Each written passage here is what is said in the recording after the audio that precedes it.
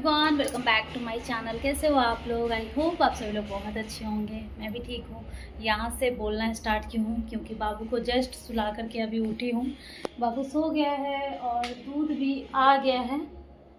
लेकिन अभी बॉयल होने के लिए नहीं चढ़ाई हूँ, क्योंकि मैं थोड़ा इधर थी तो सोच रही थी कहीं गिर जाएगा।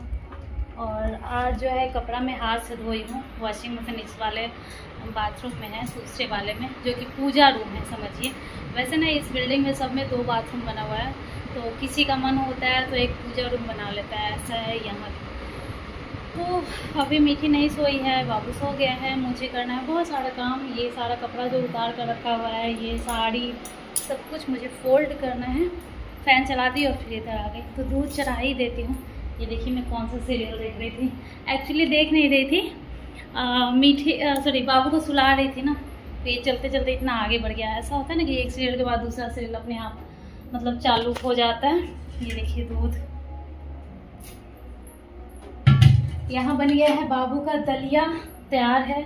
देखिए बाबू, सो गया है मतलब बिना खाए ही या सो गया है। दो बार दूध पिया है, एक बार आधा ही बॉटल पिया है। तो ये देखिए, दलिया प्लेन दलिया ही खाता है वो अच्छे से। यहाँ मैं चोखा बनाने के लिए आलू बॉईल करके रखी हूँ चावल दाल बन चुका है भुजिया बनाना है और आज बनाई थी दाल वाला पूरी जो मैं हम्म, कब बनाई थी? मतलब परसों बनाई थी। तो दाल वाला पूरी का मतलब दाल हम्म, आधा से ज़्यादा तो बच ही गया था। तो वो दाल मैं अच्छे से टिफ़िन में रख के और फ्रिज में रख दी थी थोड़ा नीचे वाला में। तो हम्म, सही था। तो आज मैं फिर से दाल वही बनाई हूँ। देखिए, मैं खाई हूँ, अभी यहाँ पे प्लेट भी नहीं आता है, क्योंकि उसी टाइम बाबू पॉटी कर दिया। मेरे खाने टाइम ही उसको मतलब जब मीठी भी छोटी थी तो ऐसा ही करती थी। मेरे खाने टाइम में उसको सूसू, पॉटी सब कुछ आता था। अभी कृष्णा का भी ऐसा ही है। जब मैं खाती हूँ, जिस टाइम मुझे खाना होता है, उसी टाइम उसको पॉटी, सुसु मतलब चैन से हम लोग खा, जो हमारे जैसे मतलब माँ है, जिनके छोटे बच्चे हैं, चैन से खा भी नहीं सकते। अगर न्यूक्लियर फैमिली में रह रहे हैं, तब जहाँ अकेले आप रह रहे हो, तब फैमिली के साथ रह रहे हो, तब तो कोई टेंशन ही नहीं है। बच्चों का बहुत कम टेंशन होता है। गणेश चतुर्थी था, चतुर्थी गणेश चतुर्थी हाँ। तो इधर भी होता है, बंगाल में भी। गाना चल रहा है कॉपीराइट आ जाएगा। तो यहाँ पे इतना सारा कपड़ा है जो मैं हाथ से धोई हूँ, सरफ डाल करके यहाँ पे और वो क्या बोलते हैं, बाल्टी से, ये सब नहीं धोई हूँ। जो इधर वाला है वो नहीं धोई हूँ, उधर के रसी पे जो था वो। और यहाँ पे देख सकते हैं, बाबू सोया हुआ है। मीठी भी नहीं सोई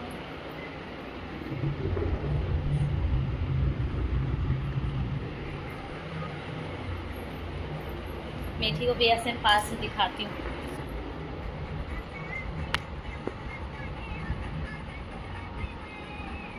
मेथी क्या कर रही है? देख रहे हैं। बॉईल हो जाएगा उसके मैं उसके बाद मैं थोड़ा भुजिया बनाने वाली हूँ चोखा बनाने वाली हूँ। या फिर मन होगा तो आलू चॉप बना दूँगी। हाँ बेटा? भूख लग रहा है। भूख लगी है? हाँ। चलिए मैं खाना ला दी दलिया खाओगी या चावल दाल? चावल दाल। दलिया खा लो ना एक बार। थोड़ा सा। ओके। मैंने क्या मैंने कहा मैचिंग मैचिंग कपड़ा पहना है पैंट और कपड़ा ब्लैक ब्लैक टॉप आज ये कितना बार बोलेगी पता नहीं जितना बार जहाँ से मतलब मम्मी जी का फ़ोन आया था तो भी बताई मैचिंग मैचिंग क्योंकि ये खुद पहनी है आज खुद ना आई है और खुद पहनी है। मैं ये वाला सूट पहनी हूँ कई दिनों बाद। नीचे इसका पैंट मैं नहीं ली हूँ तो मतलब कोई भी लेगिंग्स पे पहनती थी। आज मैं बस ऐसे ही पहन ली। ये बहुत दिन से मैं नहीं पहन रही थी। इसका फिटिंग बहुत अच्छा है मतलब ना ही ज़्यादा टाइट कि एकदम पेट निकला हुआ दिखे और ना ही बहुत ज़्यादा लूज। तो एकदम सही है। परफेक्ट फिटिंग बोल सकते हैं इसको।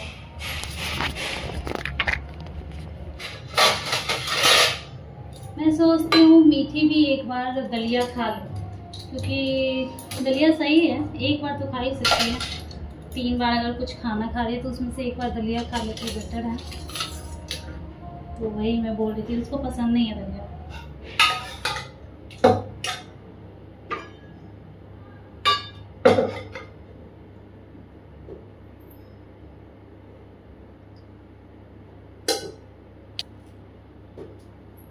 मीठी खुद से खाना खाने लगी है। मतलब सेवेंटी परसेंट नहीं नाइन्टी परसेंट ऐसा है कि मैं ही खिलाती हूँ। टेन परसेंट ऐसा है कि मीठी खा लेती है। घर पे कभी कभी खाती है जैसे केक हुआ तो खा ली या फिर और स्कूल में तो खाती है। है ना मीठी हाँ। खा के दिखाता हूँ।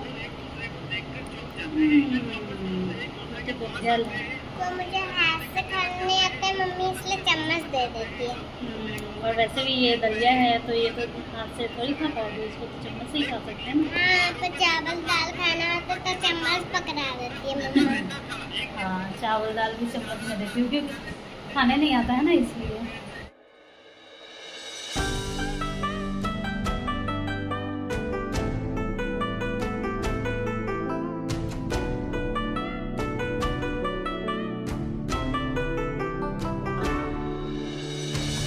तो अभी कृष्णा सोया हुआ है और बस मीठी जगी हुई है। जब दोनों में से एक कम से कम सोया हो रहा था तो थोड़ा कम आतंक मचाता। है और इसी टाइम मैं ये सब फोल्ड कर लूँगी। एक्चुअली बहुत ज़्यादा हो जाता है। मैं कितना भी चाहती हूँ कि दोनों रूम का बेड जो है वो क्लियर रहे, साफ़ रहे, ताकि जब मन हो जिस रूम में सो जाए। और ऐसा होता है कभी कभी मन करता है उसमें सोने का, कभी इसमें। तो लेकिन ऐसा हो नहीं पाता है, क्योंकि बेड पे अगर रहता है बहुत सारा कपड़ा तो फिर लगता है कि कैसे आए। और ये इस रूम का जो पलंग है, वो थोड़ा सा मतलब बच्चे लोग जो है ना उखाड़ दे, दिया है, दोनों मिल करके पलाई वाला पलंग है। वैसे तो मेरे शादी के बाद ही ये हम लोग लिए थे, लेकिन थोड़ा सा ख़राब हो गया है।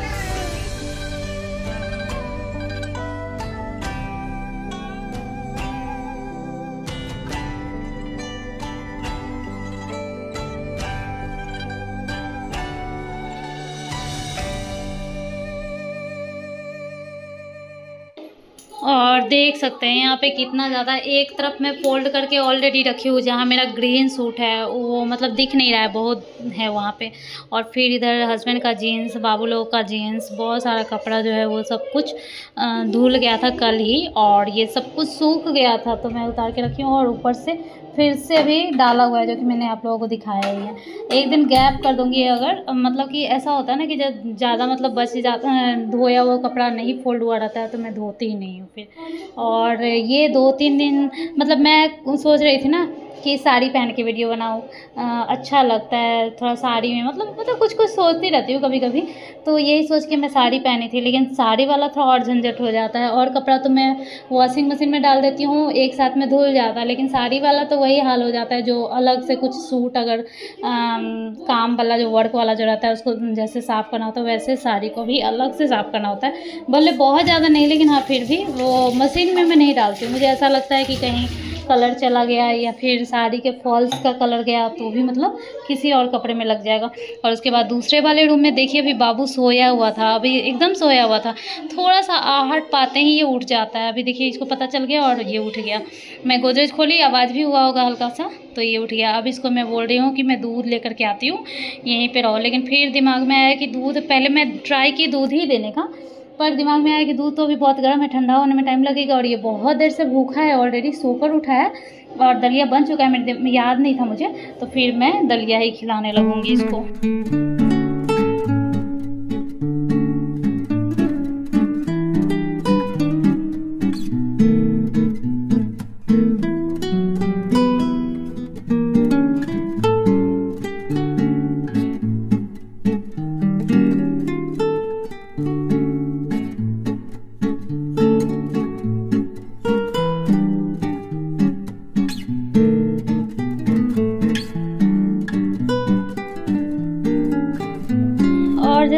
कुछ दो तीन पहले के ब्लॉग से ही, मैं बता रही हूँ कि कृष्णा अब दिन में डाइपर नहीं पहनता है। कहीं बाहर जाना होता है, जैसे डांस क्लास आज गई थी डांस क्लास तो लेकर पहना करके मतलब गई थी।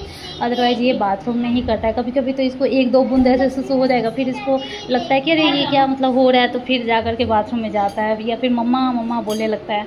तो ये चीज़ें उसका सही हो गया कम से कम सवा दो साल में। ये कम से कम दिन में डाइपर पहनना छोड़ दिया। मीठी तो इसे ज़्यादा दिन पहनी थी मतलब मुझे इतने अच्छे से भी याद नहीं है, लेकिन मुझे ये याद है कि मीठी ढाई साल से स्कूल जा रही है और जब स्कूल जाना स्टार्ट की थी तो डाइपर पहन के जाती थी। तो हो सकता है कि वो स्कूल जाती थी, इसलिए मैं पहनाती हूँ पहनाती थी। अभी जैसे कृष्णा भी जाएगा, अगर ढाई साल से तो पहनाना पड़ेगा। तो वही होगा, लेकिन अभी इतना अच्छे से याद नहीं मीठी का। लेकिन कृष्णा जल्दी छोड़ दिया और जितना ही जल्दी ये कुछ मतलब छोड़ता है, उतना ही लोग बोलने लगते हैं कि अरे इतना दिन तक डाइपर पहना रहे अभी तक सुसु करना नहीं सीखा, अभी तक पॉटी करना नहीं सीखा। मतलब लोग पहले ही बोलने लगते हैं, एज से पहले ही लोग चाहने लगते हैं कि वो चीज़ें वो करने लगे, जबकि हर चीज़ ये एज पे ही किया है। जैसे कि मतलब सात से आठ महीने में ये क्रॉलिंग करना सीखा, क्योंकि उस टाइम मतलब ये था, बहुत ज़्यादा मतलब ठंड था। ग्यारह महीने में ये चलना सीख गया। बोलना में अभी ये नहीं कह सकती कि नहीं बोलता है, लेकिन कुछ चीज़ें सेंटेंस एक्सप्लेन नहीं कर पाता है। तो वही अभी ये उठा है तो बाथरूम में गया है सुसु करने के लिए और फिर वो आएगा तब खाना खाएगा ये देख सकते हैं। और फिर पैर खुद से होता है पानी डालता है सब कुछ कर बुढ़ा हो गया ये। चलिए खाना खाना ठीक है? आ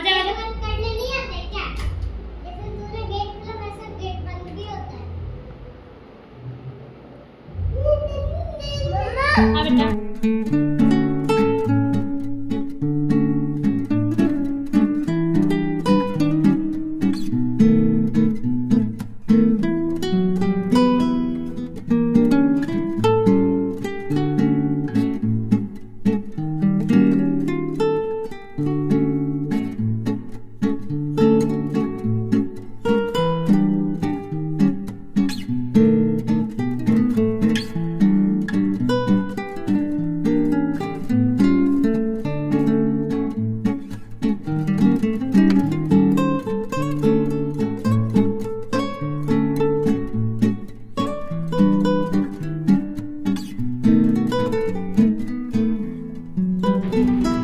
कृष्णा का दिन भर में एक दलिया ही खाता है, वो और कुछ खास वो खा नहीं रहा है। कुछ दिन पहले था, एक डेढ़ महीना पहले था कि वो थोड़ा बहुत चावल दाल भी खा लिया करता था बट बिल्कुल भी अब नहीं कुछ खाता है, कुछ मुँह में ही नहीं डालने देता है, खाना तो दूर की बात है।